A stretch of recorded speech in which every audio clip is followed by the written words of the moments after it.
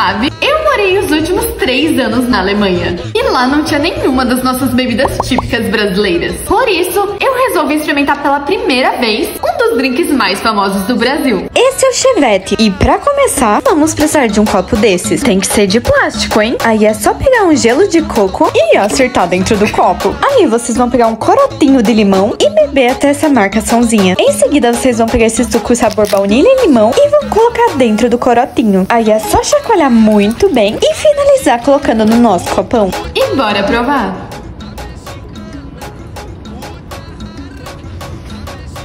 Meu Deus, tem muito gosto de Yakut. Hum, é muito bom. Brasileiros, vocês estão de parabéns. E esse tal de chevette é... Maravilhoso.